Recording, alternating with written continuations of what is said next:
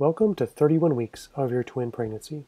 By this point of the twin journey, your twins are about the size of a coconut. If you were to measure each of them individually, each one would be about 16 inches in length. Around their waist, circumference of 10 and a half inches, and around their head, almost 12 inches in circumference. How is mom doing this week? By this point in the pregnancy, she's gaining about a pound a week, and so far a total of 32 to 48 pounds. If your twins were born right now, they'd be considered early preterm, which means they have a higher risk of major medical complications. On average, they'll spend about 36 days in the NICU before coming home. What should you get ready this week?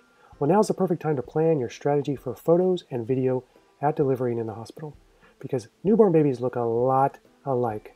We like to put a bright yellow paper in the background of our pictures to identify baby A from baby B. Here's something from your fellow parents of twins. Andrea says, I'm feeling pretty good, minus the swollen feet. I'm done working now so I can slow down and keep these babies in as long as possible. If you're worried about your twins being born early, plan now how you can adjust your schedule for a NICU stay and caring for your other children at home.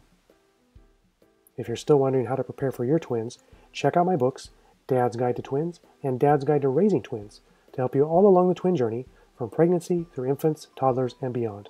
Learn more at dadsguidetotwins.com slash books.